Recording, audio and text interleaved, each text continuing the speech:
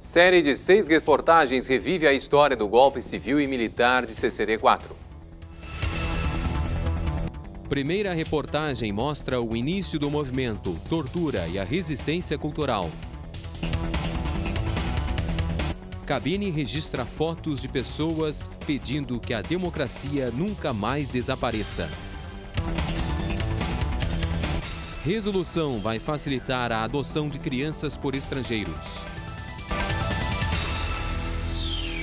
Boa tarde. Na próxima semana, o golpe de 1964 completa 50 anos. A partir de hoje, o Jornal da TV, primeira edição, exibe uma série especial de seis reportagens sobre os episódios ocorridos durante a ditadura militar.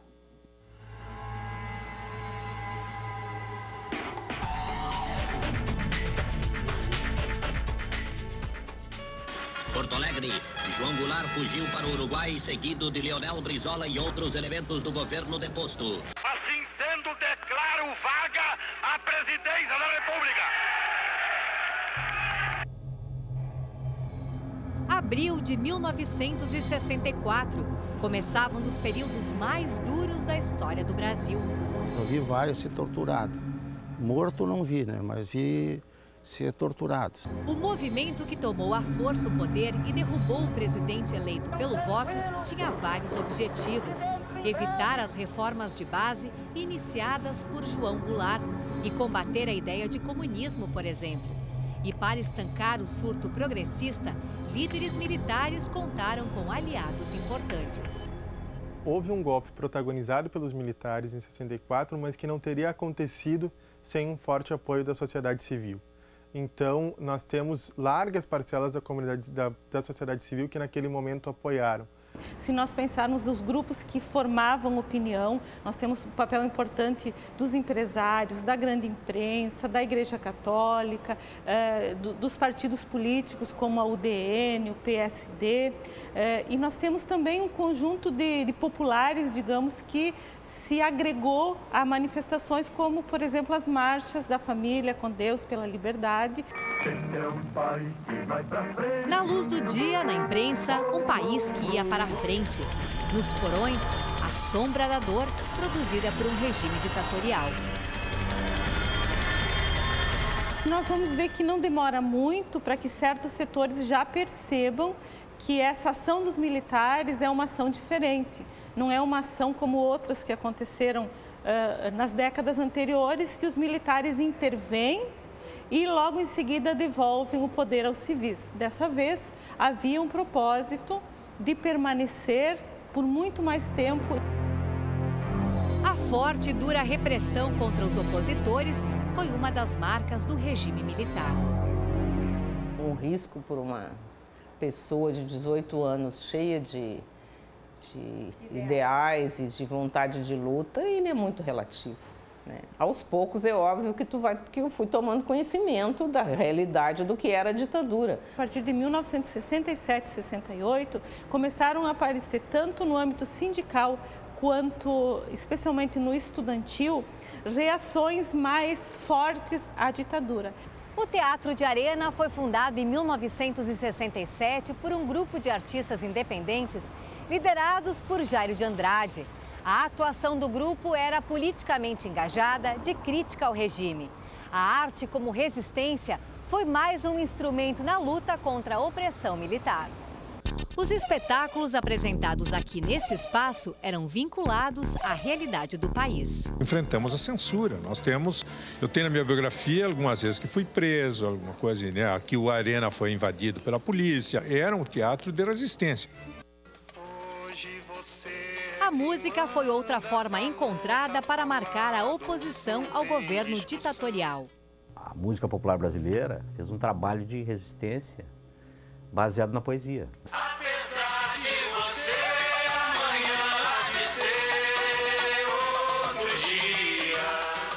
dia. O Chico Buarque, ele, ele usou a linguagem da poesia com a sua possibilidade de metáfora, de duplo sentido, etc., para passar a mensagem da crítica dele, né?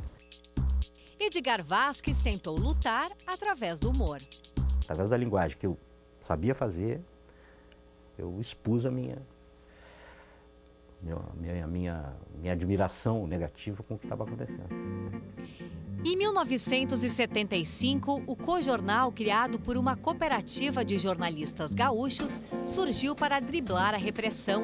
O impresso, que chegou a circular nacionalmente, enfrentou o regime de uma forma diferente e assim conseguiu falar sobre o que era proibido. Não se podia falar em tortura. Não podia falar em tortura. Então a gente falava, contava um pouco da história das torturas, da Inquisição. Era a única maneira, de certa forma, de sobreviver dentro do regime. Porque se tu, se, se tu fosse para o confronto, não tinha chance. Considerado um dos melhores jornais da imprensa alternativa do país, ficou nas bancas durante sete anos. Nós amargamos aí eh, 21 anos, eh, pelo menos, né? Eh, de uma situação de falta de liberdades, de falta de diálogo, de interlocução social, né, de limitação dos direitos. Então isso foi significativamente né, eh, uma regressão.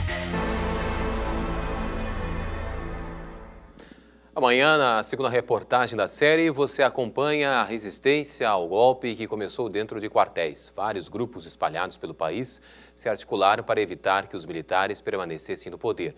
E fora do Exército, vamos mostrar a luta de estudantes, trabalhadores, intelectuais e populares que se organizaram para tentar retomar a democracia. Uma atividade no centro da capital utiliza a fotografia para lembrar do golpe militar de 64. Somente ontem, cerca de 200 pessoas participaram da ação promovida pela Secretaria de Comunicação Social do Estado.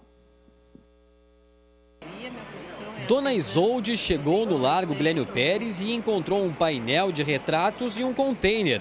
Ela descobriu que estava diante da cabine da democracia, na qual é possível tirar uma foto semelhante à dos cartazes de procurados e desaparecidos da ditadura militar.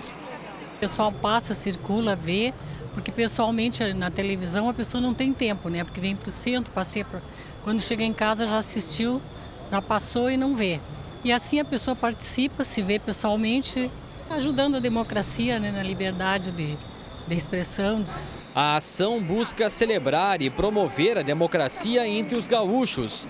Em março, se completam 50 anos do golpe militar que instaurou uma ditadura no país por duas décadas. A democracia, sabe, se faz um país, se faz um estado, se faz um, uma nação. Eu acho que nós precisamos de muita democracia.